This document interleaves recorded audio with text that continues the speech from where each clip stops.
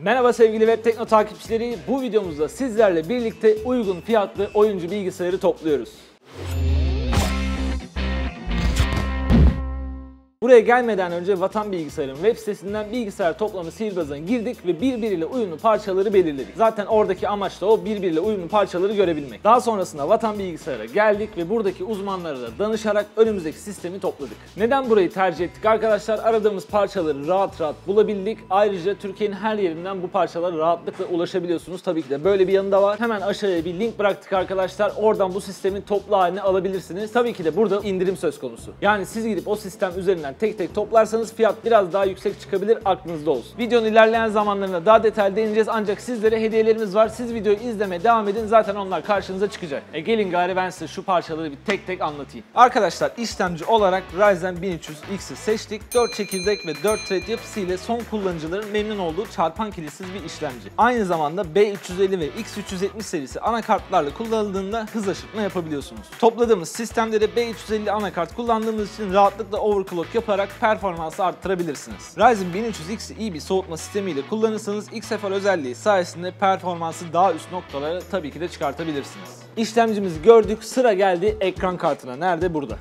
Bu sistemde Zotac GTX 1050 Ti OC Edition ekran kartını kullandık. Bu ekran kartı çift fanlı, 4 GB VRAM ve 1506 MHz saat hızına sahip ve oyun performansı olarak memnun kalacağınız bir ekran kartı olacaktır. 75 Watt düşük güç tüketimiyle çalışmaktadır. 1080p çözünürlükte oyunlarda yüksek performans elde edebilirsiniz. Zota'nın sitesinden indireceğiniz Firestorm yazılımı ile hız aşırtma ayarlarınızı da rahatlıkla yapabilirsiniz. Ayrıca burada bir bilgi vermek istiyorum. Standart 2 yıl garantiniz var ancak aldığınız tarihten itibaren 20 gün içinde Zota'nın sitesinden kayıt yaptırırsanız 3 yıl daha garantiniz olmuş oluyor. Yani toplamda 5 yıllık bir garantiniz var. Ekran kartımıza baktık. Sıra geldi anakartımıza. Bakalım anakartımız bizlere neler sunuyor. Bu sistemde Gigabyte'ın anakartını kullandık arkadaşlar. Özellikle B350'yi seçtik çünkü hız aşırtma yapmak istediğinizde bu kart bunu destekliyor. Ayrıca A320'ye göre daha fazla özellik içeriyor. Gigabyte'ın bu kartında PCI yuvası anakarta çift olarak bağlanmış. Bu sayede ekran kartının takılıp sökülmesi kısmında board'un zarar görmesinin önüne geçilmekte. 2 adet DDR4 RAM yuvası ile 32 GB'a kadar RAM'inizi yükseltebiliyorsunuz. Anakart üzerinde VGA, DVI ve USB 3.1 çıkışları bulunuyor. Üzerindeki ses kartı ile de 7 artı 1 ses alabiliyorsunuz.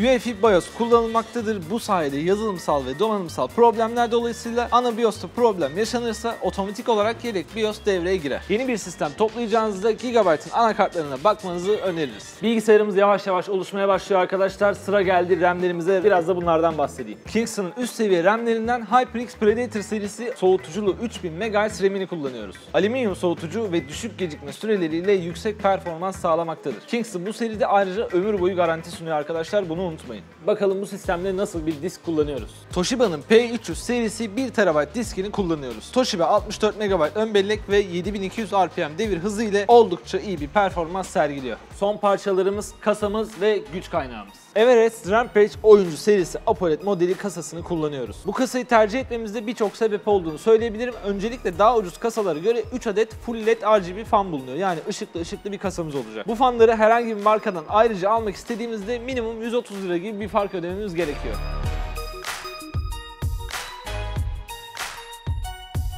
Diğer taraftan ön ve yan kısım Mika yerine cam olarak tasarlanmış. Bu da daha sağlam olmasıyla birlikte daha görsel, daha güzel bir görüntü sunuyor bizlere. Son olarak hem cam hem de 3 adet RGB fan olmasına rağmen ihtiyaç duyduğunuzda optik sürücü de takabiliyorsunuz. Eğer DVD, CD-ROM gibi bir şeye ihtiyacınız varsa takabilirsiniz. PCU'muzda ise Everest Rampage serisi sertifikalı 80 Plus 500 Watt PCU kullanıyoruz. Parçalarımıza baktık arkadaşlar. Bu sistemi oyun oynamadan bırakır mıyız? Tabii ki de bırakmayız. Şimdi gelin biraz oyun oynayalım. Evet arkadaşlar masamıza oturduk. Sistemimiz hazır.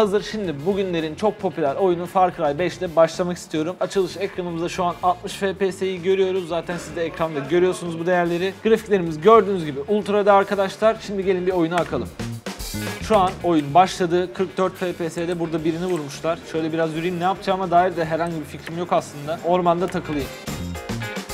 Bu arada FPS'imiz 41, 42, 39'larda dolaşıyor ancak öyle deli dehşet herhangi bir sorun yaşamıyorum. Şu an akıcı oynuyoruz. Ayrıca ultra ayarlarda olduğumuzu da hatırlatalım. Düşman geliyor. Gel. Gel vicdansız gel. Lan öldürdüler. Tutturamadım. Gel buraya.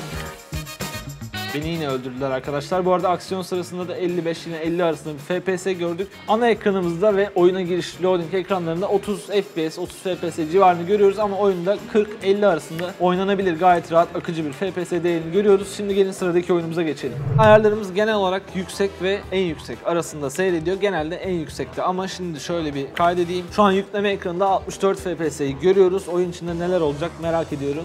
Yardır bakalım Franklin Reis. Şuradan önce bir araba kapızlayalım. Şu an oyun içinde şehirdeyiz arkadaşlar ve 55 el Allah çarptım FPS'ye bakar. 55 FPS civarında seyrediyor. Herhangi bir sorunumuz yok. Gel bakayım buraya. Kaçma lan. Vicdansız al. FPS'miz hala 60-67 seviyelerinde. Hatta 70'e bile çıktığını görüyorum. Bu arada şehirde güzel güzel yükleniyor arkadaşlar. Yani böyle çok geç gelen dokular, çok geç gelen yapıları görmüyoruz. Bu da önemli bir şey.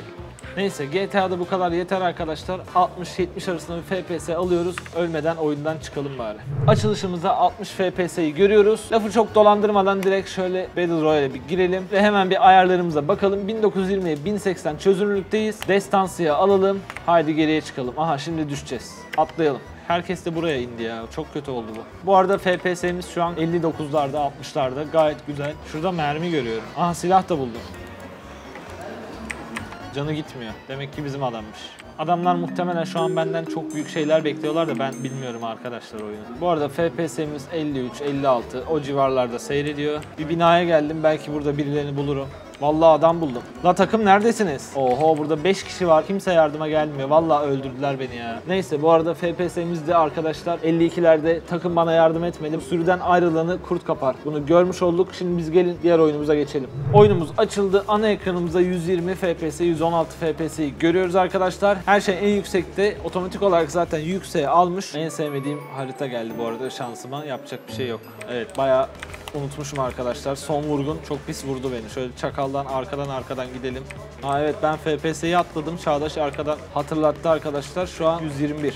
Silahların sekmesi menkmesi hiçbir şey beceremiyorum ya. Bak hep son vurgun beni gelip vuruyor. Vicdansız. FPS'miz 153. Yine son vurgun geldi arkadan dürttü. Son vurgun seni bulacağım. Şu an 93'lerdeyiz FPS bazında.